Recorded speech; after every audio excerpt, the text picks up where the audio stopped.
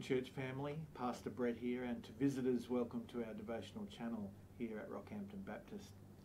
Most of us have uh, faced in our life situations where, in our hearts, we believe that things may not get better.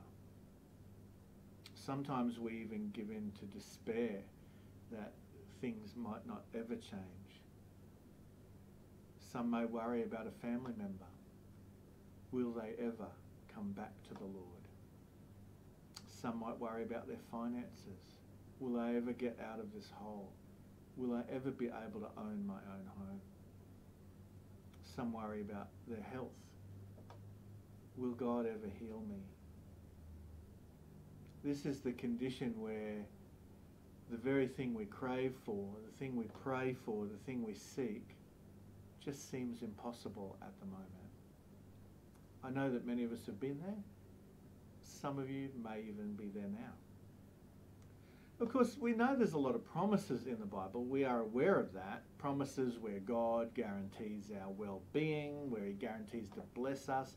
And we know that is true and we believe in it. But sometimes God's deliverance and His answers to prayer seem, well, just so far away. One example of this story is the Israelites in exile. For 70 years they lived in a foreign land. Now their faith was intact, but they couldn't worship the way they wanted to worship because they had they'd been taken away from Jerusalem and the temple had been destroyed. Now God had promised that he would restore them to their former place. But it had been so long, and many had even died while in exile. Then when they were at their deepest point of discouragement, God sent a special messenger. You see, what had happened was, at this stage, some of them had returned. And there was an initial burst of enthusiasm that God might somehow be doing something. The foundation of the temple was built, but then it all stalled. And things began to become hopeless again. What they hoped for didn't even happen. It's as if God was not even there. The exile was discouraging enough, but not as discouraging as coming back in hope only to have the building work stall. So God sent Zechariah to them. And in chapter 8, God says these words to the exiles. Then another message came to me from the Lord of heaven's armies. This is what the Lord of heaven's armies says My love for Mount Zion is passionate and strong. I am consumed with passion for Jerusalem. And now the Lord says, I am returning to Mount Zion, and I will live in Jerusalem. Then Jerusalem would be called the faithful city the mountain of the Lord of heaven's armies will be called the Holy Mountain. This is what the Lord of heaven's armies says. Once again, old men and women will walk Jerusalem's streets with their canes and will sit together in the city squares. And the streets of the city will be filled with boys and girls at play. This is what the Lord of heaven's armies says. All this may seem impossible to you now a small remnant of God's people. But is it impossible for me? says the Lord of heaven's armies. This is what the Lord of heaven's armies says. You can be sure that I will rescue my people from the east and from the west, and I will bring them home again to live safely in Jerusalem. They will be my people, and I will be faithful and just toward them as their God.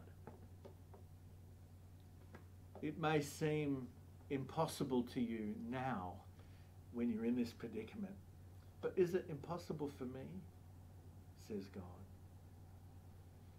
There are times when we can't see past the worry and the trauma and the grief. How could it possibly be better? But what seems impossible to us is just an opportunity for God to show his glory in a situation.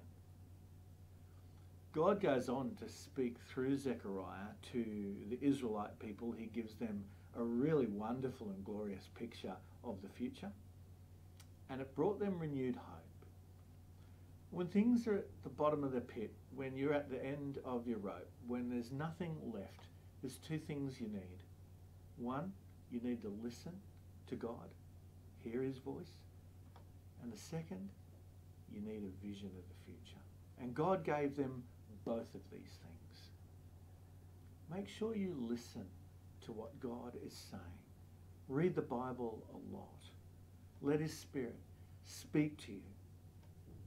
Hear his words and know that he still cares. And if you find that really hard to hear God's voice, then just at least believe the stories that you read about how God had blessed and intervened. And pray and ask God for a vision for the future, a picture of what he has for you. Ask him to give you something that you can hold on to, a promise or an image of some kind, with a God-given picture of the future. It renews our strength. We can have a new incentive to keep working and keep striving. When he does comfort you with these promises, hold on to them and trust him. Let's pray. Lord, I thank you that you are a speaking God, that you seek to always communicate your will to those who love you. We pray, Lord, with open ears and open hearts, that you would speak into our life too giving us a picture of the future, enough for us to be motivated and continue to trust. We understand, Lord, that you don't always spare us from downtime.